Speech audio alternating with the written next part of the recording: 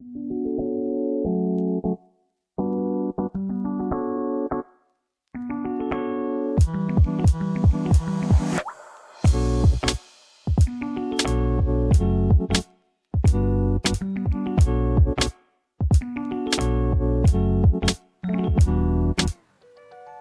Razer Edge is poised to become an absolute powerhouse of an Android device and handheld with its Snapdragon G3X Gen 1 mobile processor. However, some may or may not remember that this isn't the first time Razer has delivered powerful hardware focused on delivering the best Android gaming experience. The original Razer phone launched way back in November of 2017 and brought to the table a beautiful design, powerful hardware fueled by the Snapdragon 835, a gorgeous 120Hz 1440 1080p display designed as a flagship phone meant for gamers. It's probably hard to imagine, but this was very unusual in 2017, and the Razer phone launched before the likes of the ROG phone, Black Shark, and Red Magic. I guess you could say that the Razer phone was a trendsetter despite many critics not understanding why it existed. But Razer was not going to be outdone by its competition. Razer followed up with a sequel less than a year later in October of 2018 with the Razer Phone 2, and in today's video we will take a look at this device and see how it holds up today on the cusp of the Razer Edge's release. I am Rob, the Retro Tech Dad, and together let's revisit the once champion of gaming phones.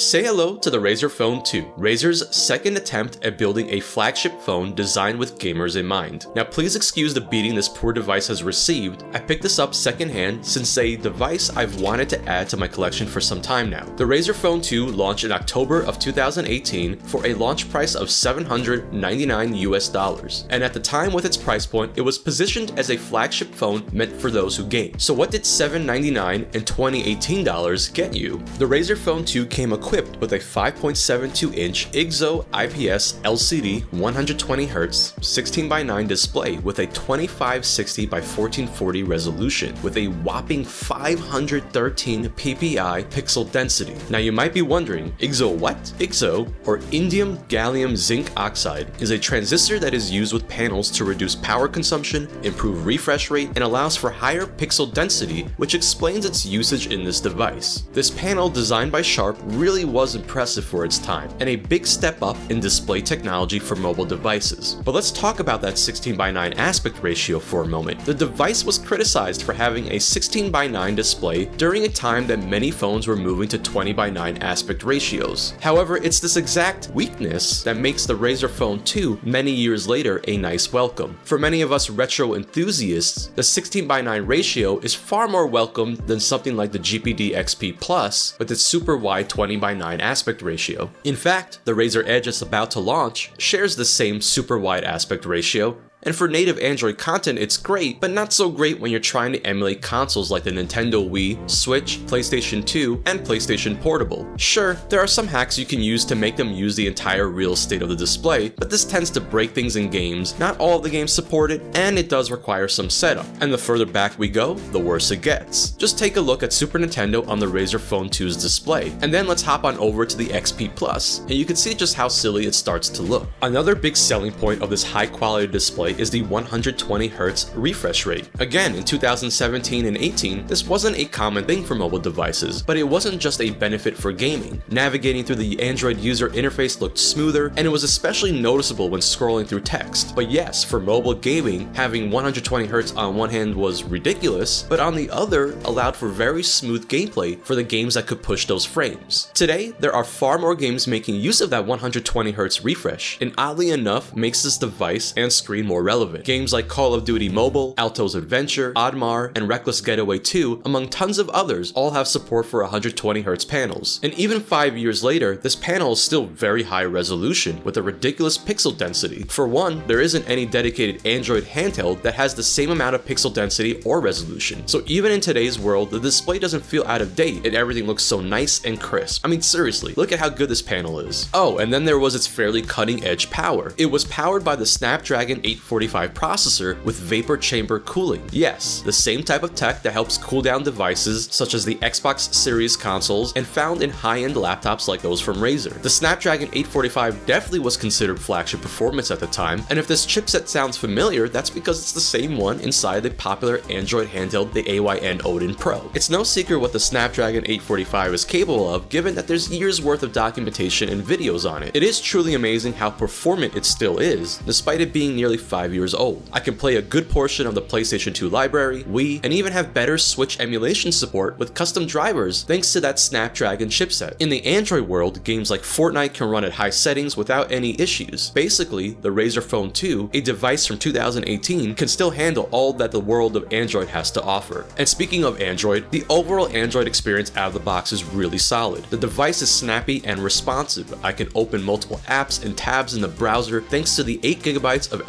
LPDDR4 RAM built into the Razer Phone 2, which is still an enormous amount of memory for an Android device. Now back in 2018, the device shipped with Android 8.1 and came with a Nova launcher out of the box. The device would eventually see support officially to Android 9, however thanks to the development community, something like Lineage OS is still very much supported today on the Razer Phone 2. Now the device I have here is already updated to Android 9, and I do really like the experience with Android 9, and I'm very thankful that outside of the Razer apps, this thing wasn't loaded with ridiculous amounts of bloatware, so it's a fairly vanilla Android experience. However, I might at some point consider Lineage OS, and the latest version of Lineage supported is version 20, which is based on Android 13 and gives even more longevity to the Razer Phone 2. The Razer Phone 2 even had a controller attachment designed around it called the Razer Jungle Cat. Now keep in mind, this is before the Kishi version 1 or version 2 existed. The Razer Jungle Cat was a pretty wild design, it had Switch-like Joy-Con attachments, and it was completely Bluetooth enabled, so in theory, it could work with any device, except that when it came to Android phones, it couldn't. The Jungle Cat actually shipped with three specific cases which were made to fit the Razer Phone 2, Samsung Galaxy S10 Plus, and the Samsung Galaxy Note 9, really limiting its uses as a controller attachment for Android phones. The controller did have a Switch-style grip attachment so that you could use the Jungle Cat as a regular Bluetooth controller, but the entire design just wasn't so great. Each controller had to be charged separately with a USB Type-C cable, and overall it's obvious that outside of owning the aforementioned